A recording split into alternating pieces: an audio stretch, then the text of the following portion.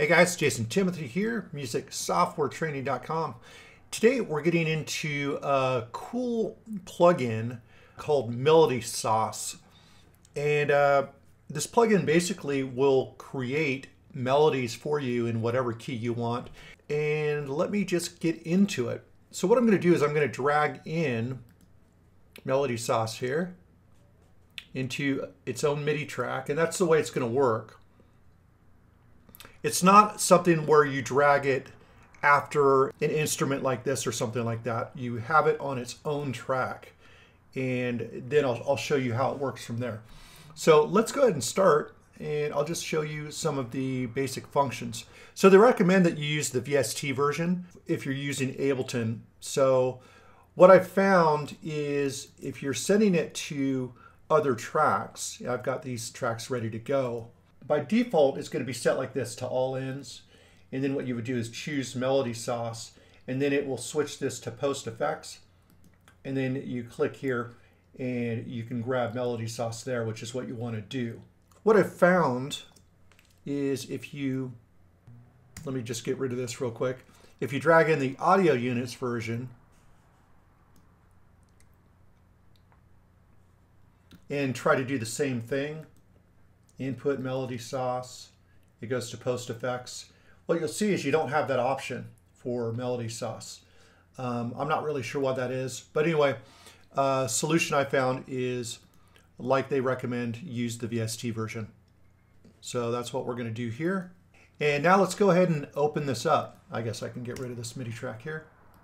So it looks a little complicated at first look, but it's pretty simple to use uh, when you understand what is going on here. So the first thing that you would do is pick the key that you'd like to work in. I want to use an, a minor key, but every major has a minor kind of uh, correlation key. So I'm going to go with B, B flat minor. I just find it's an interesting key. And then over here, we could actually choose a sound that we want to use. So in this case, let me find, I'll just go with the soft lead. And now we can start uh, choosing what we want here. So I want my melody to be a little bit faster. I'm going to go with a long length loop. In fact, what I'm going to do here is let's stretch this out to eight bars. That way we can hear a longer loop. And I've just got like a a drum loop here just to keep time. And then we can kind of go through different choices. So uh, octave, I believe that uh, zero sits kind of in the C3 octave or the third octave. And then obviously we go down or up. So let's just keep this in the middle for this example. Then we can set a groove or a triplet or a swing groove, and we'll, we'll check out the different options there. But we're going to start with uh, just no groove there. And let's click on legato. And legato basically means that it'll play one note all the way into the next note, depending on the sound. Next, we've got this middle spot. And this is really cool. This gives us kind of nine variations here of what type of melody we can make. So we can make kind of a lighter melody, which just a lighter mood, a darker mood, or a melody that has a little bit of both. And then we have simple, complex, or all, which means uh, a little bit of both. And then there's these extra tabs, so I guess you could go extra dark or extra simple or extra complex. So let's go extra dark and extra complex. And that would put us, oh, I'm going to just go for both simple and complex. So that would be this right here because that's dark and as far as complexity all. So I'll just click that there and it creates our melody right here. So then all we got to do is just uh, hit play and it'll start playing the melody.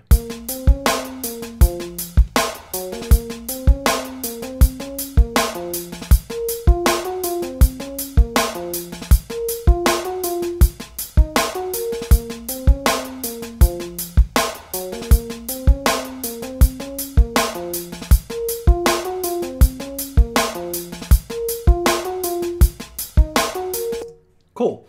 And within this, you can add uh, reverb, delay, chorus. Let's go ahead and uh, add a lot of delay and a lot of reverb just for the heck of it.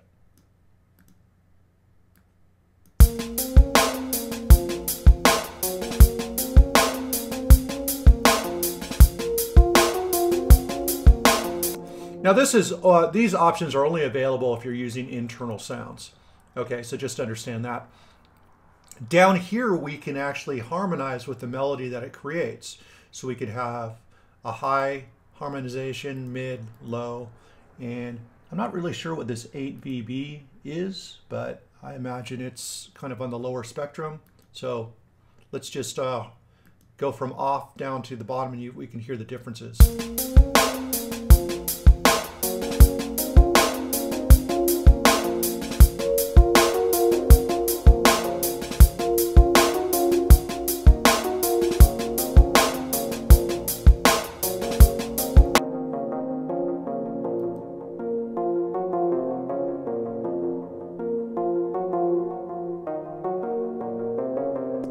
So cool. So uh, with that, we've actually got our melody. Now we can use this melody um, with just melody sauce, or we can assign this melody to another one of our sounds. So the one approach that we can take is just to mute this and then take this melody, see this little cross here. We can just drag this on. Let's drag it onto our bell sound.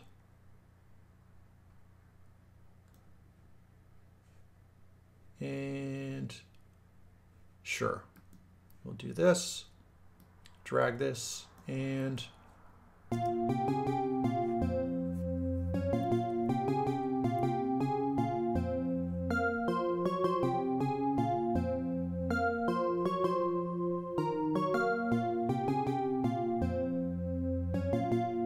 All right, so interesting stuff there. Now we've got it assigned to this. Now, if we want to hear the melody played on another instrument, like over here with our pads, then what we need to do is send it to, uh, or send it from the melody sauce. So in this case, I would just choose melody sauce here. By default, it's just going to say all ins and all channels. And then it's going to give us the option here. It's going to say post effects. Just click down, and choose melody sauce. And now it's going to, we're going to want to arm this track.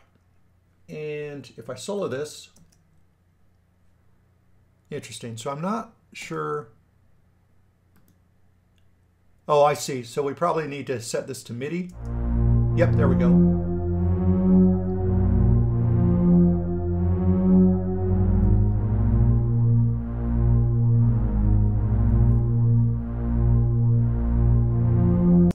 It's harmonizing right now. Let's go ahead and turn the harmonize off. And then we can add the bells back. And let's see what we got.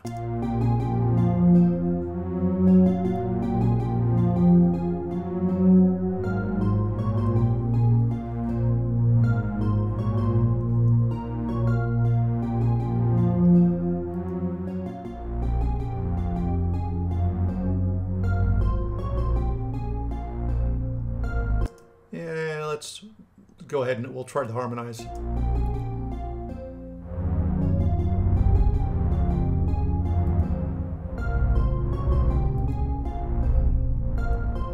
Much better in this case with it off. So with that, it's setting to there. So now I can just take this melody if I like the way it is and just drag it onto that track. But we're able to kind of preview while we're building the sound. So we'll go ahead and just uh, drag this over. And let's get rid of these so we don't get confused. And let's do a fast, light. Let's let's do a little con. Actually, let's do extra light, and Let's do simple and complex.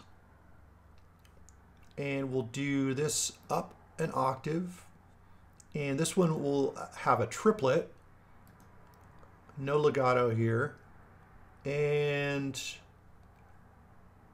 we don't need to worry about these because we're not using the internal sound. And in this case, we want to, let's undo that one there and we'll send it to this lead. And let's see, let me solo this.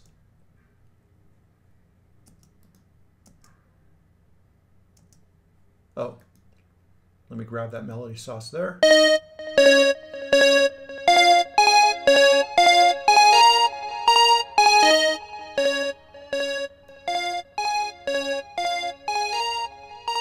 All right, cool. So let's see what that sounds like together with everything else. And we'll add the drum beat in as well.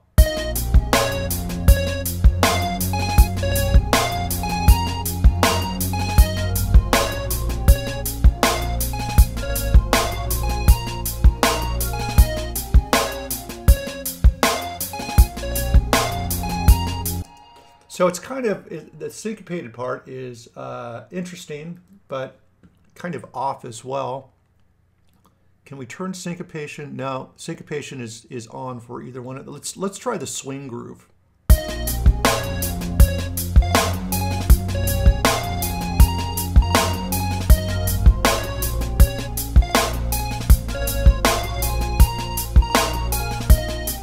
Okay, that's cool. Um, let's try with uh, extra complex.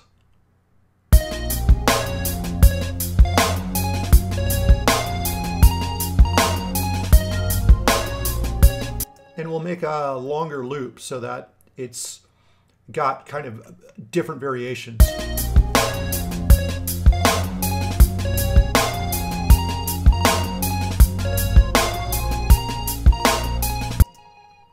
And I'm going to just uh, create, just by clicking here, we'll go ahead and use this.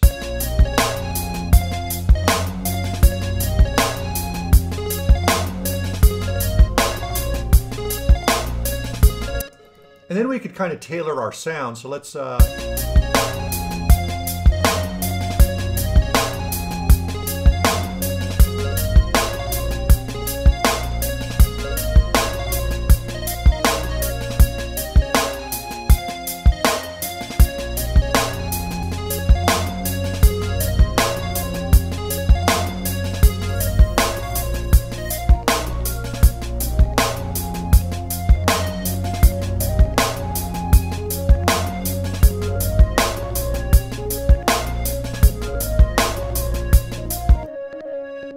pretty cool. Let's, uh, okay, we've got uh, some hybrid reverb. Let's play with this a little bit more. Let's add a little bit more reverb here.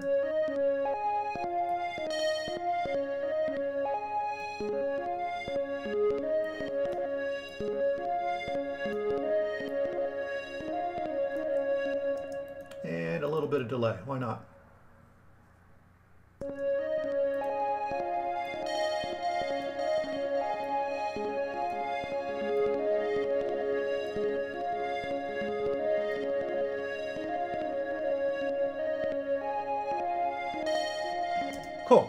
Let's play it all together.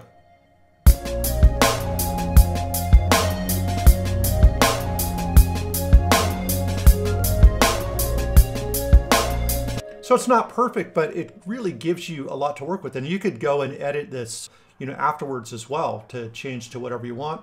And once again, I can just drag my melody from here right into that part. Not really sure why it keeps asking to import the tempo because it is playing to the tempo. So that's kind of interesting. What if I just say no? I don't think it makes much of a difference. So there we go. Melody Sauce just created uh, like kind of a song for me to get started with.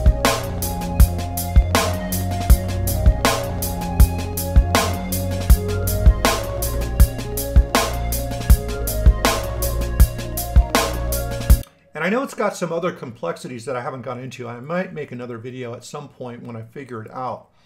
But it looks like here we can like kind of create different uh, kind of chord structures or what have you. At least that's what it looks like here. So we can kind of flip between these options uh, throughout. And I haven't experimented with that, but it looks like, yeah, there's a lot of interesting things. This flip button probably is pretty interesting, rhythm, and all this different stuff. So I may come back and create another video when I figure out how this part of the tool works. But uh, otherwise, guys, I hope that you got something out of this. Uh, really great tool from Isotonik. And uh, I'll leave a, a, link below so that you could check it out if you want. Uh, really great tool. It's really great when you, you know, don't have like an idea of what you're going for and you kind of got a blank slate. This can kind of kickstart some ideas and then you can manipulate it in your own way. So yeah, really enjoying this so far. Really great stuff. So with that, guys, have a great one. I'll speak to you guys most likely tomorrow. Take care.